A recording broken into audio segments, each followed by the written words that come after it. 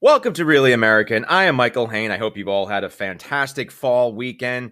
If you notice, a lot of the foliage is coming in, a lot of brightly orange leaves. Let's hope the brightly orange fascist one falls come November 5th. Anyway, now if you recall, I spoke about how Trumpy Dumpty managed to insult, insult the entire city of Detroit and a critical swing state.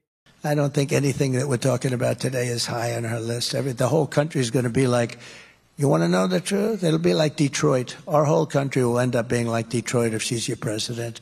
You're going to have a mess on your hands. She destroyed San Francisco. Now, I already debunked that latest fear and smear nonsense to fall out of the portal of hell Trumpy Dumpty calls a mouth. But somebody else did an even better job. And that person is Governor Tim Walz.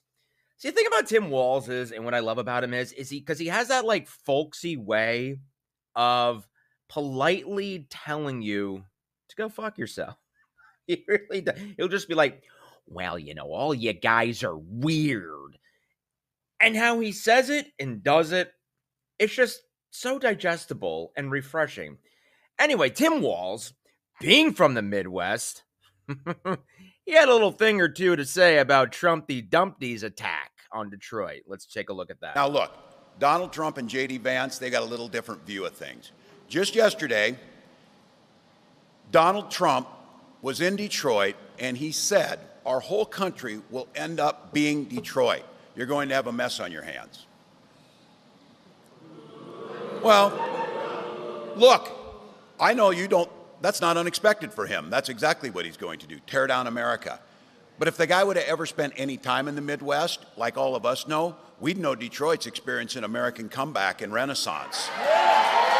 Cities growing, crime's down, factories are opening up. But those guys, all they know about manufacturing is manufacturing every time they show up. Every time they show up. Look, this guy has spent his life, Trump has spent his life talking a big game, but he has been an absolute disaster for working people. One of the biggest losers of manufacturing jobs of any American president in history. Trump's presidency was an endless string of broken promises. He actually came here to Warren when he first ran, and he promised you under a Trump presidency, you won't lose a single plant.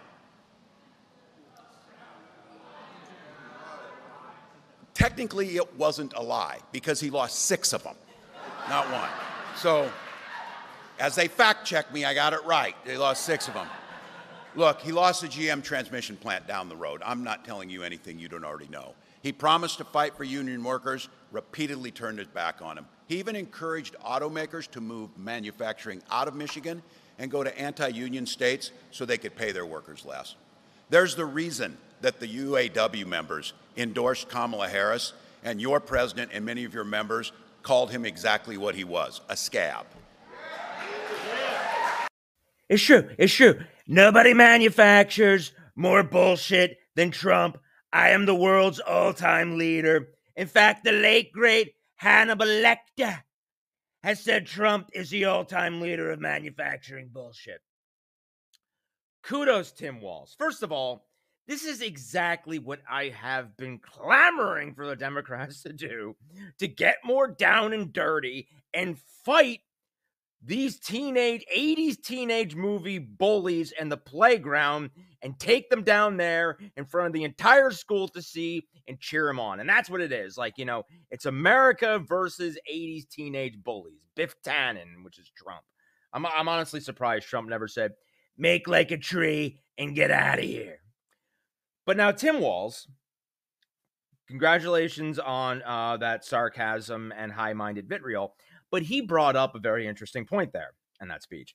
And that being that manufacturing jobs weren't doing all too well under Trump and Dumpty. In fact, we were losing manufacturing jobs prior to COVID, which I believe even California Governor Gavin Newsom brought up. Let's take a look at that. Made a lot of big promises to American manufacturing workers during his campaign, and as you just saw, in Ohio in 2017. Well, that hasn't worked out so well. This week, the livelihoods of hundreds of workers at a General Motors plant in Lordstown, Ohio, fell into limbo when General Motors closed the last assembly plant that manufactures the Chevy Cruze. The plant produced cars for more than 50 years, and its closure is a huge blow to Lordstown. Closing that plant will eliminate nearly 1,700 hourly jobs. Hmm. Now, I wonder if Trumpty Dumpty made some other totally bold, empty promises that screwed over workers that even Stevie Wonder can see he was lying about. Oh, wait. After five years working at a furnace factory in Indianapolis, Renee, along with over 200 of her colleagues, are being laid off. Tomorrow, I'm losing my job as the company I work for, the company I had hoped to serve until retirement, sells me out. At a meeting to discuss the company's decision, those being let go expressed their disappointment, especially as many like Dwayne had voted for Donald Trump in 2016 because he said he would help workers like them. Just like everyone else had voted for him, uh, help our economy out. Um, hope to do what he promised the nation he'd do about keeping jobs in America safe. Um, apparently, it's not happening as of right now. As president elect, Donald Trump visited Carrier's Indiana factory, touting a deal he personally helped broker $7 million in tax breaks to keep the plant from moving to Mexico, saving over a thousand jobs. Since then, Carrier has nonetheless laid off over 500 workers, but many still believe Trump is fighting for them in a sector that's battling both delocalization and automation. When you talk to those people today, some of those people today, what they will tell you is that give him a chance. And so you're still hearing it. Our, some of our members are still supporting the President of the United States. You know, hearing those workers speak and some of those deferring views is fascinating because it just really encapsulates my discussion or rather interview with leaving MAGA founder Rich Logis. I don't know if you were able to check it out, but uh, Rich was once a card carrying member of MAGA.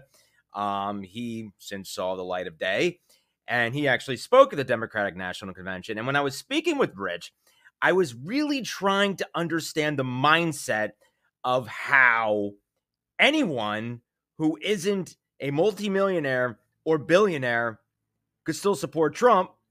Um, and I pointed to the possibility of, yeah, kind of understanding why they were behind him in 2016 even though all of us knew it was nothing but relentless BS, that Trump had been screwing over workers his entire pathetic spoon fed life, but kind of understood it. So it was interesting to hear that other gentleman with that steel plant who was saying, like, despite everything that's going on, the fact that people are losing jobs and all, some of them are still behind Donald Trump. And that's what's fascinating is because some of them are still behind Donald Trump and that he can still get millions of votes. It's it's confounding, it's maddening, but we've reached a tipping point and Kamala Harris has this thing controlled. Now we can't get complacent, but between her and Tim Walz going out there day to day, going to the critical swing states, having a solid A game ground operation, I think we're all right. Anyway, I'm Michael Hayne. This is Really American. Please subscribe to our channel and check me out on my latest TikTok at Mike Hayne Comedian.